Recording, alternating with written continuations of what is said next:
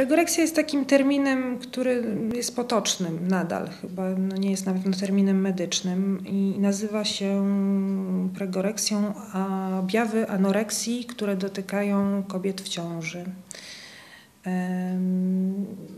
I ta pregoreksja w zasadzie jest tym samym co anoreksja, tyle że e, właśnie kobieta jest w ciąży, ale objawy są te same, czyli Czyli kobieta boi się przytyć i robi wszystko, żeby nie przytyć. Wszelkie objawy naturalne dla ciąży, powiększanie się ciała, powiększanie się brzucha, powiększanie się biustu, e, czy też nabieranie tkanki tłuszczowej są, są przez nią traktowane jako oznaki otyłości, a nie ciąży.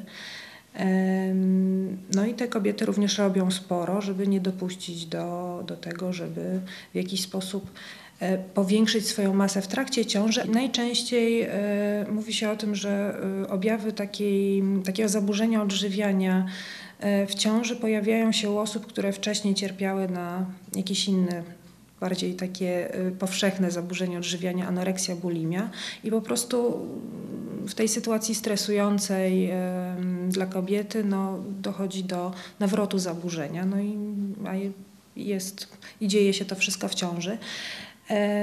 Ale też mówi się o tym, że Często to dotyka osób e, i te objawy się mogą pojawiać po raz pierwszy mm, takich osób, które z jakiegoś względu e, muszą uważać na swoją sylwetkę, czyli wszelkiego rodzaju osoby publiczne, aktorzy, piosenkarze, gdzie ta sylwetka jest e, non-stop oceniana przez publiczność. Ja mam wrażenie, że takie osoby w ogóle nie trafiają do terapii, bo rzeczywiście to się zbyt szybko rozgrywa. W pierwszy też trymestr ciąży jest takim, że część kobiet przez jakiś czas nawet nie wie, że jest w ciąży.